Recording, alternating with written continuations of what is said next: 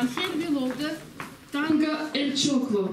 Исполняют Марина Горбунова, флейта, Юрий Петрович Мягков, вторая скрипка, Олег Васильевич Скрипков, первая скрипка, Татьяна Николаева Фурсова, Фурсова, виолончель.